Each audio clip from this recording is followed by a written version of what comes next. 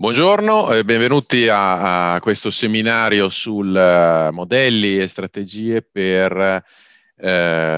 la digitalizzazione di uh, successo nella pubblica amministrazione. Eh, il titolo e, e l'abstract danno un'indicazione molto eh, precisa di quelli che possono essere gli obiettivi eh, secondo cui il eh, piano nazionale ehm, di eh, recovery e resilienza eh, può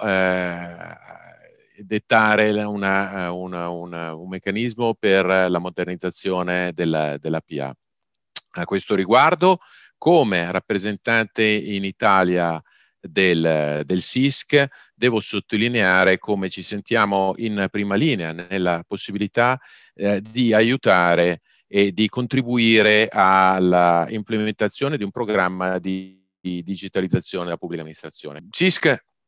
è un consorzio per eh, l'information and a software quality, vale a dire è un consorzio dove, eh, come vedete sulla scheda, eh, ci sono degli sponsor uh, tecnologici, degli sponsor eh, di carattere più eh, consulenziale che partecipano a dei tavoli di lavoro dove l'obiettivo qual è? L'obiettivo è stendere e condividere degli standard che possano essere punto di riferimento per determinare l'incontro tra offerta e domanda nel campo dello sviluppo e della manutenzione del software. Il funzionamento di, uh, di SISC è nella, nella, Costituzione, nella stesura degli standard a cui arriveremo tra poco, è eh, quasi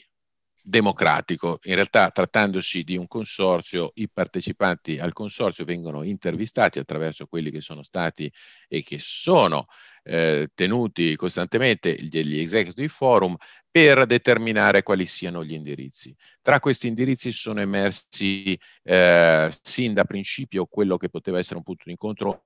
tra sviluppatori, sistemi integrator eh, e, e mm, clienti pubblici e privati. La determinazione di misure metriche oggettive e automatiche per la misurazione dei punti funzioni e di determinate caratteristiche del software che fossero eh, eh, correlate alla qualità in esercizio dei prodotti software. Eh, si tratta di misure di reliability, performance efficiency, security e maintainability che vediamo eh, sulla scheda. Queste sono state eh, sintetizzate attraverso un lavoro di, di, di, qualche anno in degli standard tecnici, poi passati e vidimati da OMG, eh, diffusi e adottati da altri, eh, da altri organismi, implementati da software vendors, quali Cast, Cast che sta sponsorizzando questo, questo seminario. E, e, e infine una volta dimostrata la loro validità sul campo, adottati da ISO tramite una eh, via di approvazione preferenziale che lega OMG a ISO. Tra, tra questi standard, chiaramente eh, quello dei, dei, degli automated function points ha già preso piede, sta già essendo utilizzato e permette di quantificare la dimensione funzionale delle applicazioni eh, in maniera automatica e, e, e ha il, il, la sua utilità all'interno di quelli che sono i meccanismi di procurement. Quello che invece eh, ritengo che possa essere, riteniamo che possa essere di, di maggiore ausilio all'interno di un eh, momento in cui viene richiesto alla eh, pubblica amministrazione una accelerazione particolare nel percorso di digitalizzazione, ma come diceva la pubblicità eh, della Pirelli, la potenza è nulla senza il controllo, noi offriamo la capacità di controllare cosa succede all'interno di questa velocizzazione, ossia di avere gli indicatori, i KPI, attraverso il riferimento agli standard che permettono di capire qual è il eh, livello eh, di qualità strutturale degli applicativi. Qualità strutturale che viene mh, dettagliata da eh, SISC, eh, eh, come dicevamo, all'interno di quattro eh, pilastri principali, attraverso un numero limitato e selezionato di regole. Eh, si tratta effettivamente di un numero di regole dello standard eh, decisamente eh, limitato, ma proprio al fine di poter essere eh, regole incontrovertibili e eh, su cui c'è un consenso generale tra qualunque addetto ai lavori, tra qualunque responsabile tecnico, eh, sia che sia nel, nel, nel, nei fornitori e nei clienti. E si tratta di eh, uno, stand, degli, uno, standard, eh, stavo dicendo degli standard perché eh, inizialmente si trattava di quattro standard, come questi sono diventati ISO si è deciso di avere un unico standard ISO 5055. La possibilità che c'è è quella di inserire direttamente riferimento a questi standard all'interno dei contratti, soprattutto in virtù dell'essere ISO. Eh, si tratta di un riferimento quindi eh, normativo che può essere inserito in maniera diretta all'interno di un contratto con la sicurezza che potrà essere riscontrato, confrontato e controllato. In virtù poi dell'essere stato emesso da SISC all'interno della sua mission, questo potrà essere controllato automaticamente con degli strumenti, ad esempio con gli strumenti eh, offerti da,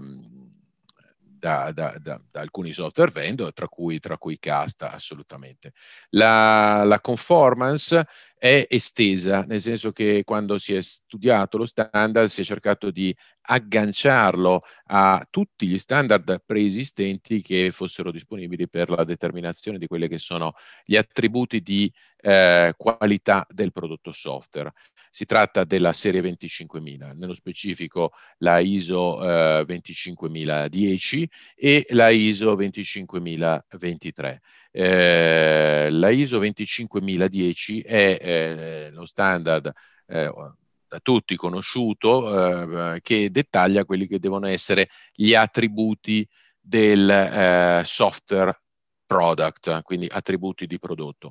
Alcuni sono chiaramente controllabili in maniera automatica, altri meno. Eh, vedete evidenziati in arancione quelli da cui ha preso spunto SISC nel generare lo standard ISO 5055 di cui stiamo parlando. E, e sugli altri Purtroppo oh, non, non, c'è ancora possibilità di andarli a vidimare in automatico, non ci sarà ancora a lungo. Eh, reputiamo che ci vorranno del, dei sistemi di intelligenza artificiale e semantica per andare a comprendere esattamente quali possono essere gli attributi di functional suitability, eh, per esempio ma su quello ci sarà tempo per lavorare. Innanzitutto è, è, è il caso di iniziare ad adottare degli standard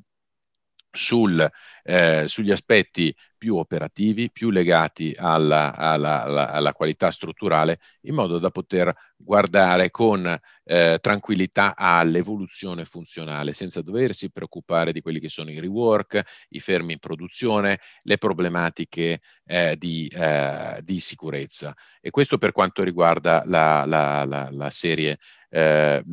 la serie 25.000 nello specifico, il 25.010, eh, stavo per dimenticare che per quanto riguarda il eh, 25.023 che dettaglia alcune metriche, ma non dettaglia metriche che riguardano eh, misure che possono essere eh, relate al codice applicativo e conseguentemente eh, è stato ritenuto che un, un, ulteriore standard non fosse in conflitto con questo, ma anzi eh, compatibile e va a eh, completare un po' lo, lo schema di eh, certificazione di quelli che possono essere eh, il, il, prodotto eh, software. Andiamo un po' in dettaglio, eh, rubo qualche secondo ancora alla vostra attenzione prima di passare alla parte forse più, ehm, più dinamica di quello che può essere il, il, il, panorama della, della, software intelligence, perché poi di fatto il, ehm,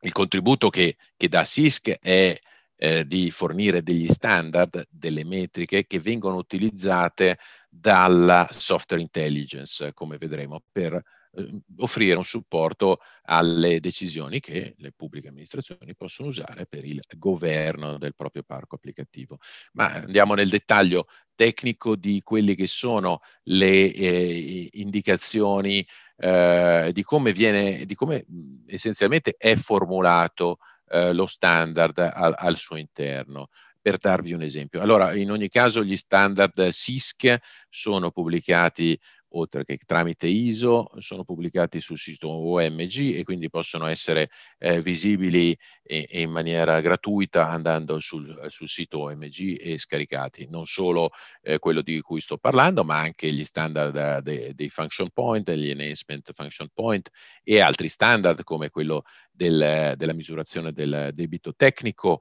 eh, della quantificazione del, del debito tecnico automatico e, ehm, che può essere eh, anche questo molto, molto interessante per andare a verificare lo stato di salute di un parco applicativo per un'amministrazione. Quello che stiamo vedendo è come funziona una regola strutturale di, eh, di, di, di, qualità del software. Una regola strutturale di qualità del software può essere formulata tramite una descrizione fatta a parole, eh, che può avere dei, delle sottodescrizioni, delle, dei referenti che sono normale, delle normali sigle che vanno a identificare il tipo di eh, vulnerabilità, di non good practice, ma soprattutto l'innovazione forte che è stata fatta da Cisco e da OMG è di descrivere queste regole in maniera che possano essere automatizzate. Quello che vedete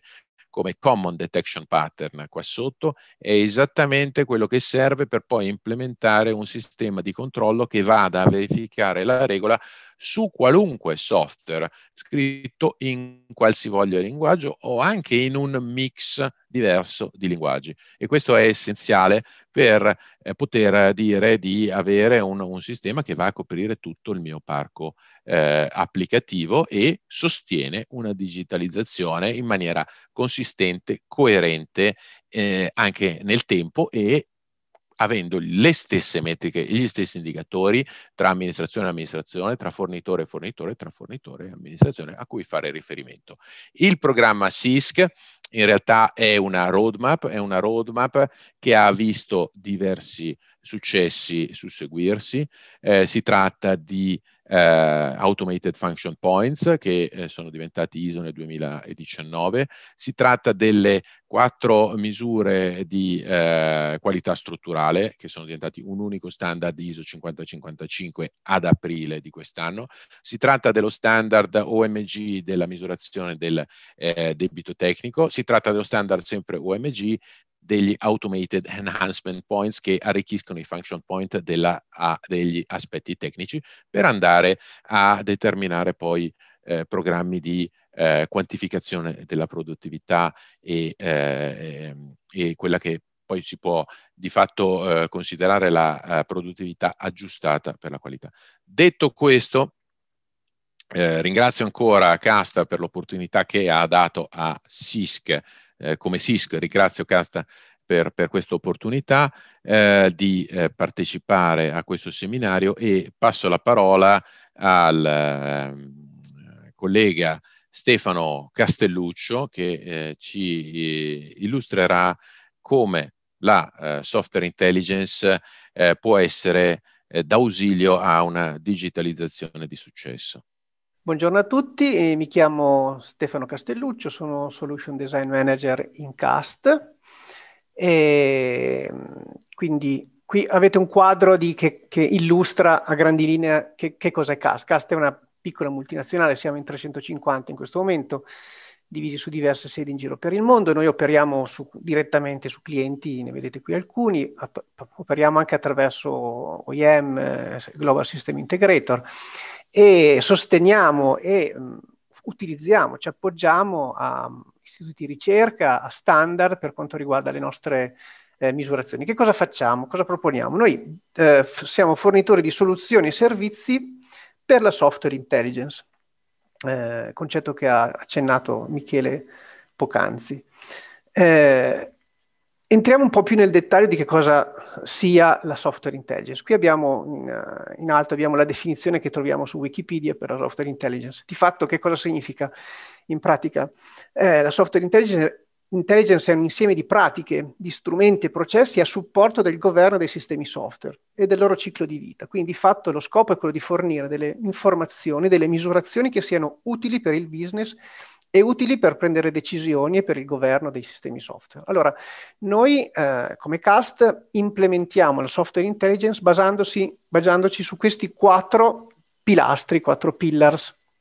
che vedete illustrati in questo momento. Allora, eh, uno riguarda la, la, misurazione del rischio eh, secondo diversi eh, aspetti e sfaccettature riguardanti relativi alla robustezza del software, all'efficienza, alla sicurezza, ad aspetti di manutenibilità e aspetti rel- relativi al, uh, alla componente open source e alla, mh, agli aspetti legati alla mh, predisposizione per il cloud. Quindi questo permette di fornire misure generali uh, uh, che individuano i rischi principali eh, e eh, permettono di focalizzarsi sulle aree di maggior, maggior, interesse per quanto riguarda il rischio. Abbiamo una componente che riguarda la misurazione del sizing dell'applicazione, funzionale e non funzionale, quindi questo è focalizzata alla gestione dell'effort assessment, quindi al controllo della, uh, dei fornitori, della produttività, quindi misure uh, di uh, produttività che permettono anche confronti e comparazioni. Uh, un altro aspetto riguarda i software flows, cioè la, l'analisi e la ricerca delle root cause, delle cause delle, dei rischi uh, che si misurano uh,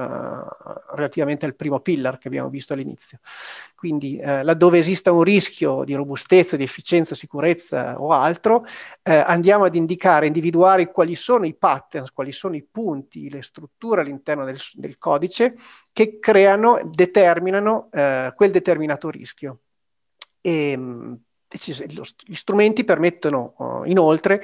di tracciare eventuali correzioni, eh, piani di rimedio riguardanti questi, questi, difetti rilevati e verificare eh, l'andamento, il miglioramento o il peggioramento del livello di rischio dell'applicazione nel corso del suo ciclo di vita con misure successive. Eh, un ultimo pillar riguarda la, la, modernizzazione del software e eh, ha lo scopo di ehm, eh, rendere comprensibile la struttura di software complessi eh, in modo tale che la, mh, eh, sia eh, più agevole il processo sia di comprensione eh, funzionale alla, alla, alla, manutenzione stessa del software, ma anche mi- mirato a, soprattutto a possibili interventi di modernizzazione. Quindi se, se laddove è necessario effettuare delle trasformazioni nell'applicazione, di parte dell'applicazione o di intere applicazioni, eh, è necessario eh, comprendere di quali parti sia composta, di quali tecnologie, di quali sezioni e eh, procedere con, la, con, le trasformazioni in modo consapevole, sapendo esattamente eh, come le varie parti interagiscono tra di loro eh, nella, nell'insieme dell'applicazione. Eh, come effettuiamo le, come, eh, quali sono i nostri strumenti di fatto, come facciamo la, la, la misurazioni riguardanti la software intelligence. Ci basiamo su due eh, eh, piattaforme principali di misurazione. Una è Cast Highlight, eh, totalmente in SaaS, ed è focalizzata su misure molto rapide di portfolio, eh, eh, orientate tipicamente a processi di due diligence, quindi di, uh, uh, di, di verifiche di iniziali e è da considerare uno strumento che permette di, di, effettuare una visione ad alta quota del parco applicativo, andando a individuare quali sono eh, le aree più, uh, più mh, potenzialmente esposte a vari tipi di rischi che riguardano per esempio la, la salute del software, riguardano uh, la, le componenti open source, riguardano la, la predisposizione o meno alla, al passaggio in cloud per le applicazioni. Quindi analisi molto veloci e eh, lo scopo è individuare le aree del terreno del software che sono più eh, interessanti per quanto riguarda eh, eh, attività successive di prospezione molto più dettagliate. E la parte successiva, diciamo il dettaglio, laddove la highlight individua le aree a maggior rischio o a maggior interesse comunque per l'analisi, eh, c'è l'altra piattaforma Customer Eye che permette un'analisi molto più in dettaglio, molto più approfondita eh, di, di, quelle applicazioni, di quegli insiemi di applicazioni che um, hanno manifestato l'interesse al primo livello con Cast Highlight. E qui abbiamo diverse dashboard che permettono eh, visualizzazioni più ad alto livello del rischio, eh, permettono di, di eh, entrare nelle root cause, quindi di una, andare a vedere i flows delle applicazioni. Eh, abbiamo delle eh, verticalizzazioni specifiche per la security o per GDPR. Abbiamo una particolare una tecnologia ehm, riservata alla, alla modernizzazione che è imaging e di, quella, di quello vedremo eh, maggior dettaglio eh, entrando più nello specifico di che cosa è e che cosa fa. Come viene eseguita? La prima parte highlight fa un'analisi, eh, come abbiamo detto, di superficie, MRI fa un'analisi molto più di dettaglio. Questa analisi molto più di dettaglio si basa eh, sul concetto di analisi strutturale, ossia eh, che cos'è un'analisi strutturale? Facciamo, vediamo con un esempio sulla sinistra eh, sul, relativo al comportamento dei classici code checkers che analizzano le varie componenti del software, verificano tipicamente delle regole di, di pratiche di codifica, di, di, leggibilità e giudicano sulla base del numero di problemi individuati le varie componenti alla, de, di una determinata piattaforma software, comprese per sé stante, eh, ciascuna indipendentemente dalle altre eh, senza tener conto delle interdipendenze. Il problema proprio, sta proprio nelle interdipendenze. Allora, eh, quello che fa eh, un'analisi strutturale come quella che effettuiamo noi è andare a considerare l'applicazione, lo vedete nella destra, eh, sul suo intero stack, che va dalla, dalla parte, per esempio, di, di front-end, mobile, web, e arriva fino al dato, prendendo in considerazione tutti i percorsi di interconnessione statica tra, il, tra i vari layer che compongono l'applicazione. Perché? Perché soprattutto nelle, eh, nelle, nei layer di interconnessione, nei protocolli di interconnessione, sta la maggior parte dei problemi che causano eh, i blocchi in produzione o problemi di sicurezza o, o breaches di, di violazioni di sicurezza. Quindi l'analisi viene effettuata da più ampio spettro, eh, eh, esplicitata in termini di indicatori eh, neutri, eh, di misurazione del rischio su diverse dimensioni e eh, focalizzandola, fornendo sicuramente delle indicazioni sulle coding practices, le coding readability eh, relative alle singole componenti, ma eh, andando anche e soprattutto ad esaminare le interrelazioni tra le parti per individuare eh, nella, nella, logica di Pareto, quindi quel 20% di cause che causano l'80% degli outage in produzione. Eh, le misurazioni che noi effettuiamo si, uh, si basano si, uh, su tutta una serie di standard, implementano tutta una serie di standard, eh, li vedete qui. Entrando nello specifico del processo di modernizzazione, come interpretiamo eh, il, il, il, flusso di un processo di migrazione, di, di modernizzazione eh, utilizzando eh, le nostre soluzioni, i nostri prodotti. Il percorso, il journey, il viaggio eh, inizia da una parte di esame sul portafoglio complessivo che eh, ci permette di individuare quali sono le, le, applicazioni che sono pronte, diciamo, sono già moderne, sono già per esempio adatte per un passaggio in cloud, non hanno bisogno di interventi particolari, da quelle che invece richiedono una rifattorizzazione, quindi delle correzioni eh, sul codice o addirittura delle uh, attività di uh, reingegnerizzazione e ridefinizione dell'architettura. Quindi uh, una prima analisi permette di individuare le, la mappa delle applicazioni e individuare su questa mappa delle aree e delle applicazioni che sono uh, uh, candidate per un certo tipo di, di processo di modernizzazione. Uh, nel caso della, rifatto- della rifattorizzazione, eh, i, i, step principali sono chiaramente rimuovere i cloud blocker, cioè quelle caratteristiche del software che impediscono o ostacolano il passaggio in cloud, per esempio, nel caso in cui si stia considerando un passaggio in cloud. Eh, dopodiché eh, la, i sistemi devono essere messi sotto controllo nella loro fase di evoluzione, nel loro processo di modernizzazione per se, per vedere se effettivamente eh, la, le, le, le, correzioni vengono effettuate e fino a che punto e se si arriva ad avere un livello di di prontezza per il cloud che sia soddisfacente. Nel caso di una, un percorso di, RIA, di, di re-architect, di, eh, soprattutto eh, pensiamo a aspetti di modernizzazione dei sistemi legacy. Eh, il, il, percorso rigu- ehm, richiede innanzitutto un esame dell'architettura dell'esistente, quindi una chiara visualizzazione di come l'applicazione è strutturata, di come, da che cosa è composta, da come le parti tra loro si interconnettono. Eh, e dopodiché eh, la, la, si, eh, è necessario verificare che l'architettura effettiva dell'applicazione a cui si vuole tendere rispetti eh, la, il modello che sia stato scelto. Attraverso analisi successive delle, delle varie versioni dell'applicazione in fase di re-architect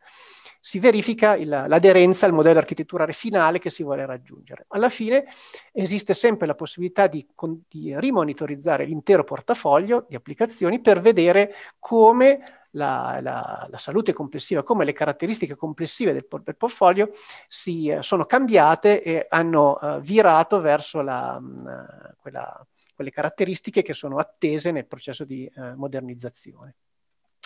Eh, nello specifico della modernizzazione entriamo su uno degli strumenti, quello che è, diciamo, tipicamente dedicato ai processi di modernizzazione. L'abbiamo visto precedentemente, era il caso in cui tipicamente eh, è applicabile in quelle situazioni in cui c'è una parte di reingegnerizzazione, re, di re-architect dell'applicazione, quindi per esempio una trasformazione di un'applicazione legacy eh, in, in, applicazione a microservizi, quindi con sostituzione di parti eh, obsolete con parti eh, che coprono le stesse caratteristiche funzionali con tecnologie differenti, più moderne, come per esempio quella dei microservizi. Allora, eh, lo, cosa si può fare con questo strumento, con Castimani? Si può senz'altro accelerare eh, l'aspetto di learning, di, eh, di, apprendimento sull'applicazione. L'applicazione si, eh, eh, ha delle caratteristiche che eh, ri- possono ridurre il, il, tempo di apprendimento per le, i membri del team di sviluppo, che, dei nuovi membri del team di sviluppo quando ne vengono aggiunti, quindi parliamo di una situazione dinamica di un team eh, che può crescere o calare nel tempo secondo le necessità. Quindi una volta che c'è un'introduzione di nuove, nuove persone, eh, deve essere eh, rapido il tempo in cui le persone apprendono uh, la, l'ambito in cui devono lavorare. Uh, quindi uh, in, focalizzato alla, alla, rapida comprensione della, delle caratteristiche della, dell'applicazione, eh, come è fatta, da cosa è composta, da come è architettata. Eh, l'altro aspetto è appunto di discovering dell'architettura, quindi rendere, eh, eh, eh fornire strumenti che permettono di visualizzare in modo chiaro l'architettura dell'applicazione e riducendo appunto eh, il tempo che gli architetti spendono per eh, definire nuovi design o esplorare il design esistente oppure per e- e esprimere eh, nuove idee oppure ehm, illustrare i processi di sviluppo eh, quindi basandosi su un'architettura esistente e utilizzando un modello che sia facile da comprendere. Quindi di fatto uh, learning, blueprinting e poi ovviamente l'ultimo, ma non ultimo, uh, produrre un'accelerazione del processo di, mo- di, modernizzazione. Quindi avendo un sistema che facilmente mi, mi rende comprensibile l'applicazione eh, e uh, mi permette di, uh, di uh, rapidamente illustrare e definire dei perimetri di, di modifica e delle strategie di modifica, ovviamente questo riduce i tempi di analisi, i tempi di design e, e mi permette una, una, un controllo molto puntuale del tipo di intervento di, memo- di, eh, di modernizzazione che io sto effettuando. Quindi eh, qui abbiamo di fatto un, un esempio di uno degli output che vengono uh, visualizzati dallo strumento. Come vedete, eh, quando si parla di visualizzazione dell'architettura, il sistema permette di individuare tutti i layer di cui è composta l'applicazione in modo semplice, in modo navigabile attraverso degli zoom, quindi posso la, mettermi a diversi livelli di astrazione eh, nell'analisi dell'applicazione, quindi eh, in questo, questo, modo ho la possibilità di individuare chiaramente i vari, i vari strati applicativi, l'intero stack applicativo eh, dell'applicazione, che qui effettivamente è in, individuato e visualizzato eh, in tutte le sue componenti, così, così, che sia possibile focalizzarmi chiaramente su aree dell'applicazione sulle quali devo fare intervento, oppure semplicemente per comprendere l'architettura dell'applicazione. Eh, mi permetto quindi, il sistema mi permette di, di uh, esplorare sia le interrelazioni tra le parti, sia le interrelazioni tra le tecnologie, sia le interrelazioni tra eh, sistemi, tra porzioni di applicazione, che uh, in qualche modo customizzabili. Io posso definire eh, le, le, la, la, tassonomia con la quale l'applicazione può essere osservata, quindi applicando diversi criteri che sono criteri eh, che possono essere adattati al tipo di indagine e al tipo di intervento che eh, deve essere effettuato sull'applicazione. Allora, questa era a grandi linee la, l'illustrazione di, eh, dei nostri prodotti, dei nostri servizi, delle nostre tecnologie, soprattutto eh, riguardanti la, gli aspetti di modernizzazione. Per qualunque informazione, qualunque richiesta di chiarimenti aggiuntivi, noi siamo naturalmente a disposizione per fornirvi tutto quello che vi occorre.